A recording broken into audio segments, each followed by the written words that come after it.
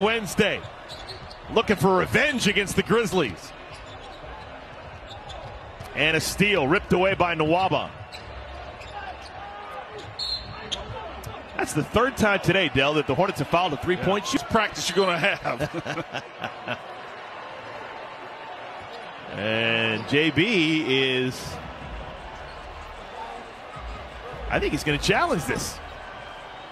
Charlotte has called a timeout to challenge the foul. All right. So James Borrego fighting for his guys. A jumper. My job is to go out and challenge. Shot is clearly away. Oh, oh, yeah. oh my goodness. Wow. Oh, what a wonderful call by James Borrego to challenge this. Oh my goodness, that's egregious. That's going to be five fingers in the air. Upon review, Charlotte's coach's challenge has been is successful. There was no possession at the time of the ball. Let's reset the shot clock to 24. We'll go jump ball center circle any two. Oh. Ah. Okay? So remove it. No, huh? And no timeout.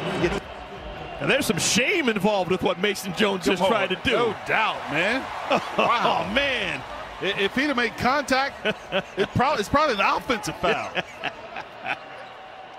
so we'll jump it up.